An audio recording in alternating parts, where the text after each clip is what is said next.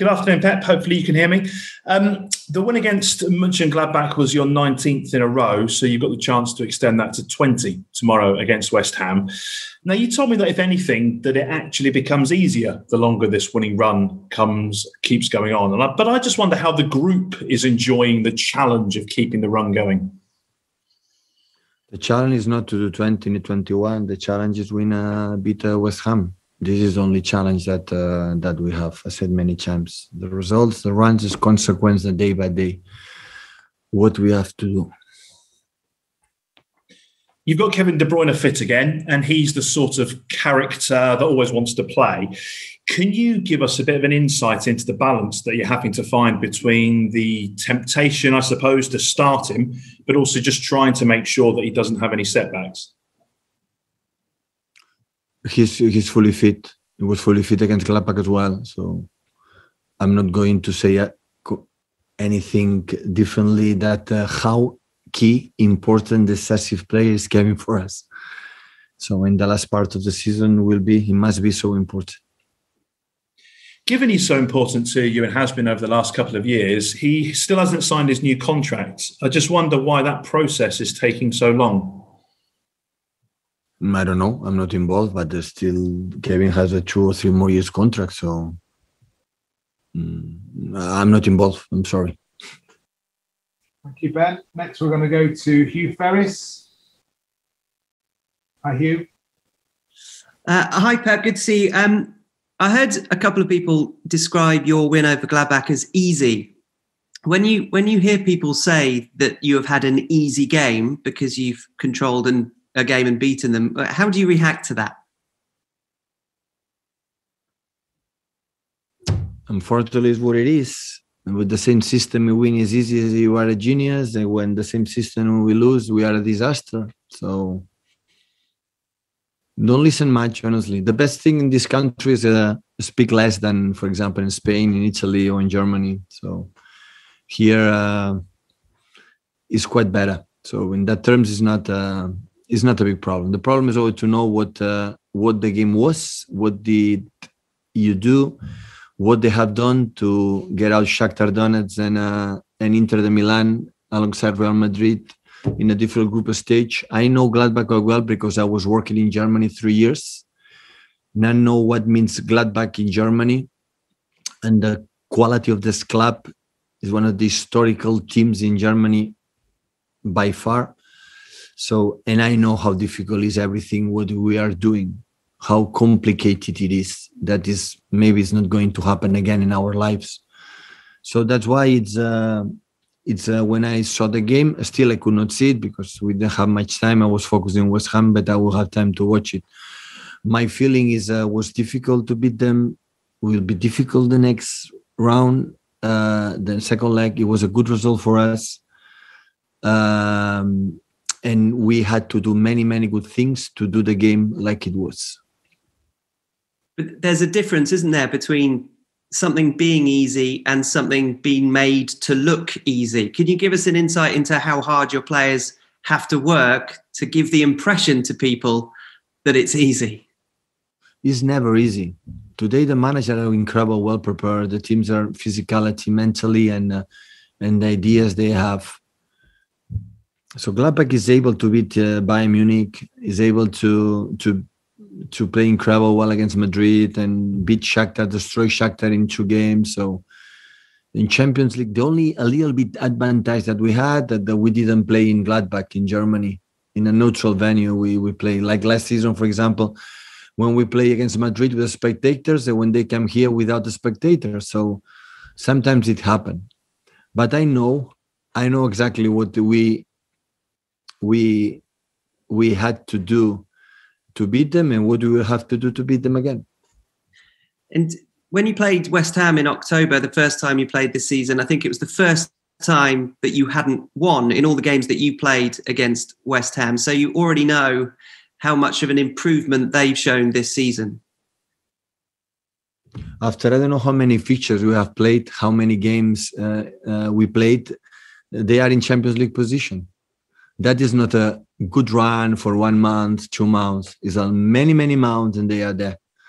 So means how strong. So what I saw is the rhythm they play is increased a lot in the previous seasons. They they play in rhythm more more calm. Now we are more aggressive. They are a fantastic players like Declan Rice. Uh, be admire of him as a football player, and uh, Antonio is always a headache uh, for his movements and for uh, his dangerous indestructible. So it's a David Moyes. Uh, I admire this type of persons like uh, Roy Hodgson. Like they're incredible long, long careers. I would love to have these long careers for many many years and have this passion to to be managed and to do the job um, always he take care of me i cannot forget my first game in the premier league it was against i think so sunderland i think so against he was the manager there and uh, he was so kind to me he gave me some advices about the premier league uh, yeah so the good you know i have friends like as a big supporters from uh, come on you Irons. So yeah, uh, we will see what happens tomorrow. Thank you, Hugh. Next we go to James James Savundra. Pep, just going on to David Moyes, how much do you admire the job that he's done this season? Some people have gone as far as saying he's the manager of the season so far in the Premier League. The the season will speak for itself. So the way he understands football, he does perfectly. a lot of experience. I know these managers. I think I dream one day arrive in this position that everything is like Carlo Carlo Ancelotti. Is everything is calm. So it's like they live like a a calm a, a Buddha, you know, uh, life. You know, in the good moments are calm, in the moments are calm, and I think he gives you the experience, you know, to do to do this. And uh, yeah, this a a real tough game tomorrow, real tight game because uh, all the big clubs offer against them, and and uh, yeah, a good team. After the Gladbach game, you said that we have to be more clinical. Is that the main area that you want to see improvement? Just a little bit more quality in the final third. No, it was this game. It's analysis on this game. In general, we are so good. So it doesn't mean that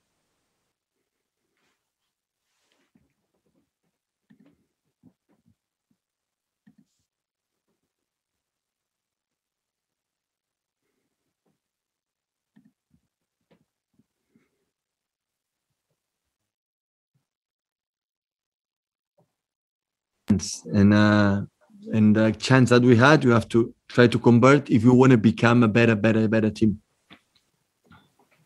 Thank you, James. Uh, next, we'll go to Mike Minay. Mike.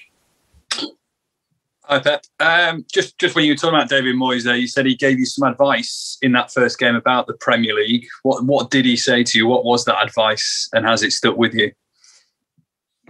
try to buy the best wine as possible to invite the manager when you win the game. Brilliant. Um, I was just wondering on, on Tuesday night, you, you, talked about having the money to buy the best players in order to win the trophies and the titles, but surely it has to be a little bit more than that. The, the, there's the coaching aspect to it as well to give yourself some praise that you have, you know, it takes more than just money to win these trophies. Of course, there are many more things the first the first of all have a, an incredible strong organization uh, a good uh, incredible lovely people the backroom staff the staff the players especially but when you achieve what we this team this club achieved in four years winning a lot a lot amount of games it's because you have to have a top players so you can win one title with a average players. To win a lot of titles, you have to need a, a top, top, top, top players. And three top players cost money. That was my reflection. So it's not sarcastic, it was the truth. So when Bayern Munich or Barcelona or Madrid or uh, United or Juventus or Milan or in that case Celtic, the Glasgow Rangers, Celtic, Celtic, the Glasgow win more titles in in in Scotland because they have more money than the other clubs. So uh, the way we are doing, every magic has his own way. Thank you. Thank you, Mike. Uh, next we go to Simon Stone. Hi, Pep. Do, does it does that bother you? Because people talk about money, and obviously you need money to get good players, but unless you've got a system and unless the players are capable of executing a game plan, you won't win. There's a lot of teams that have spent a lot of money that didn't win anything. Yeah, we have this uh, this story behind us, so always will, I think, will be with us. So, but um, that's true. When listen, when not just one journalist, many, many, many, many journalists. The reason why, the only reason why we win is the money should be true. So we can accept it. So there is another clubs that you spend or the budget they have are higher than us. Yeah, I know it, but we have that. We have to live with this. But like I said before with McManey, Mané is the same. So at the same side, we have incredible strong organization the club supporting all of us the backroom staff the work ethic that we have all the club in all department. Is incredible. Is incredible. But it's incredible. It was in barcelona it was in munich. It's, is there. So it's not just me talking myself. All departments in the club they're a machine. And that's why the organization is is strong is tough. And want more and more and more and do it but to win what we have done, not this season. So the last four seasons, we won a lot of games in all competitions, arriving in many finals, win a lot of titles. You have to have a good players. It's impossible to do it in this sustain for a long time with just average players. And top players cost money, but cost money for the top clubs in Europe. But when the people, many people, and all around the world, especially in some countries, said the only reason why is this one, okay, we accept it and try to work and do it better. Do do other clubs? Do people talk about other clubs spending money, or do you think it's just you or Man City? It's it's a, it's a that's that's come for us. So I would say, uh, yeah, because we were not there. You know, we were not there in the last 30, 40 years playing with the elite clubs, and still we are. What are they doing here? And uh and to be there you have to yeah spend. Like before spend years uh, when united won and won and won because they spend more money than the other ones. And and and barcelona madrid it was the same. So uh it's it's uh it's like this but i i don't feel we are much much different than the top elite clubs in the world in that terms honestly. But we have this we have to accept it and do the best job we can do as best as possible. okay, next we go to Fred Caldera. Hey, Fred. Hi, Pep. I, I would like to talk about, about Gabriel a bit. Um, I believe that you are pleased with his form overall, but that that chance that he missed on the second half against Borussia, do you think that lack of instinct to go and to score the goal? It seemed that he waited for another player to come for him to, to, to make the pass. Uh, do think that is the main aspect of his game that he needs to develop? The, the aspect for Gabriel is happened because he's so generous, he's so lovely, and uh, he always thinks for the team, not for himself. If he was a little bit more egoist, he would have scored much more goals. So that's why, of course, that moment he knows it, he knew it in that moment. He's the first who feels bad for himself, for the team. But when you see what he give us, what he, you see what he produced to us, I don't have any anything to say. Completely the opposite. So he's still young. He will improve. He will improve, and the moment uh, he will arrive, his composure in front of the keeper, in front of the, you know, have this half second, the more patient to take the right decision. He will get it through the years. It's like a good wine. Do you think he needs to develop this selfishness a bit? No, no, no. I like what it is but just to feel more calm in front of the goal to be you know to be more okay now i'm going to to do it and he, he will learn it. He's so young he will learn it. Thank you fred. Uh, last question for the embargo. We'll go to Pol Ballús. Um, you can start using the raise hand function if you've got questions. Yeah. Buona tarda, Pep. Um, hola. Um, there's been like a lot of talk about the improvement that your team has has experienced. Um, if I'm not wrong, you are the team that has conceded less shots on, on the Champions League with a total amount of eight, and the second team on that list is Real Madrid with 25. Uh, would you say that your biggest improvement this season has been uh, on the defense? the defense. This is not for John or Jaime or Ruben or uh, or Kyle or Joel. So last game, Phil, Reich, and, uh, and and Gabriel, the people up front help us. Bernardo help us to concede few, but it's incredible, remarkable. So how few, but I think quite similar it was last season.